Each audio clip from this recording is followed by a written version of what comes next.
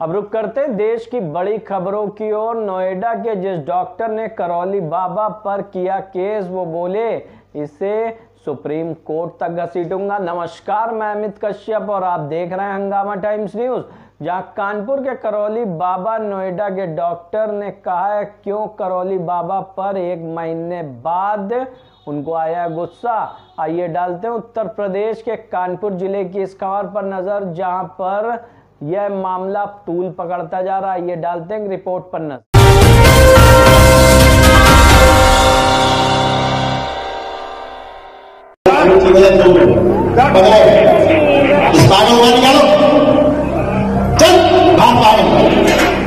कानपुर के करौली सरकार आश्रम में एक डॉक्टर से मारपीट के आरोपी बने संतोष सिंह भदौरिया, उर्फ़ करौली सरकार बाबा की मुश्किलें बढ़ने वाली हैं। अपने आश्रम में चमत्कार से लोगों को ठीक करने का दावा करने वाले करौली सरकार के सामने इस वक्त उत्तर प्रदेश की पुलिस खड़ी है। योगी सरकार के पुलिस इस बार आश्रम के तमाम राज खंगालने में जुटी है।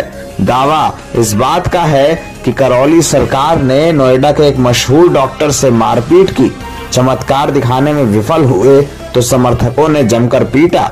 इतना पीटा कि डॉक्टर सिद्धार्थ नाम के शख्स का सिर फूट गया। करीब एक महीने बाद डॉक्टर सिद्धार्थ ने जब मुकदमा कराया तो यूपी पुलिस कानपुर के करौली सरकार आश्रम में पहुँची। अब इस मामले को लेकर तमाम विवाद हैं। डॉक्टर के ऊपर बाबा के कई आरोप हैं।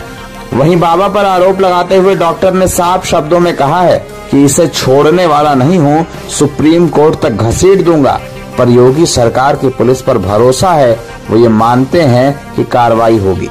नोएडा का एक मशहूर अस्पताल चलाने वाले डॉक्टर सिद्धार्थ चौधरी का कहना है कि उन्होंने यूट्यूब के वीडियो देखने के बाद करौली सरकार आश्रम पर विश्वास किया। वो जब वहाँ पहुँचे तो उन पर चमत्कारों का असर नहीं हुआ। उन्होंने बाबा से फिर से बार बार यही कहा कि वो अपने चमत्कार दिखाएँ। लेकिन जब कुछ नहीं हुआ तो बाबा ने उन्हें पागल कहा। इसके जवाब में उन्होंने भी बाबा पर अपशब्द कहे, जिसके बाद समर्थक उग्र हो गए और उन्हें आश्रम के बाहरी परिसर में ले जाकर मारपीट की।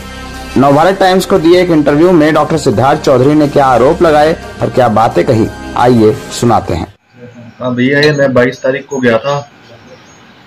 मैं 22 तारीख को गया था 22 फरवरी को। और 22 फरवरी को चार बजे मेरा नंबर आया। और जब मेरा नंबर आया तो मैंने बाबा के सामने उनके जो वीडियो देखे थे, मुझे दिखाए गए थे।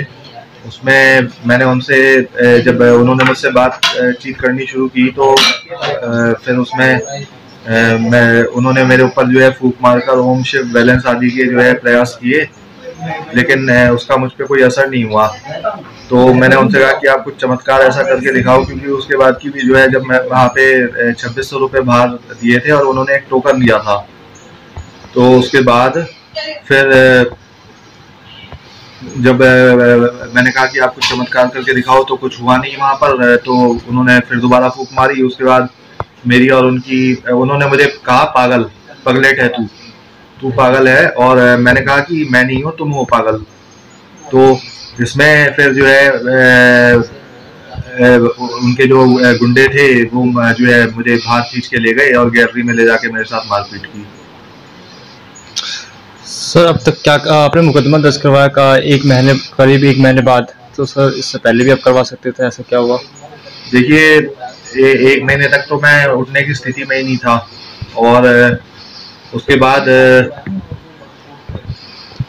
जैसे भी जो है जो भी हुआ अब वो उसके बारे में मैं ज़्यादा नहीं बता पाऊँगा। उसके बारे में सब, सब परिवार से कौन कौन गए थे वहाँ पे? परिवार से मेरे फादर थे मेरी मदर थी और मेरी वाइफ थी। अब तक सर क्या कार्रवाई हुई है? अभी तक तो देखिए कोई फ़िलहाल कोई कार्रवाई हुई नहीं है। अभी तक तो जो है वो बाबा ही मुझे कैमरे पर आकर उल्टे सीधे मेरे ऊपर आरोप लगा रहे हैं। जबकि इसमें फेयर इंक्वायरी हो जाए तो दूध का दूध और पानी का पानी हो जाएगा। सर एफआईआर के बाद बाबा आपसे संपर्क करने की कोशिश कर रहे हैं?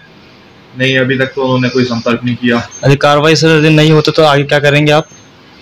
देखिए मुझे पूरा विश्वास है योगी जी पर और उनके राज में ऐसा हो नहीं सकता कि कार्रवाई ना हो। और अगर कार्रवाई नहीं होती है तो मैं सुप्रीम कोर्ट तक इस मामले को लड़ने के लिए तैयार हूँ। मुझे अपने देश की जुडिशियरी पर पूरा विश्वास है और मैं इस फ्रॉड बाबा को छोड़ूँगा नहीं, क्योंकि अगर इसका मनोबल इसको छोड़ दिया गया है यहाँ पर तो इसका मनोबल और बढ़ेगा और ये और पता नहीं कितने लोगों को लूटेगा। और कितने लोगों के साथ ये धोखाधड़ी करेगा? हंगामा टाइम्स की तमाम खबरों को देखने के लिए हंगामा टाइम्स को सब्सक्राइब कर लीजिए और बेल आइकन दबा लीजिए। अगर आपको ये वीडियो अच्छा लगा हो तो लाइक बटन प्रेस कर अपनी प्रतिक्रिया हमारे कमेंट बॉक्स में दे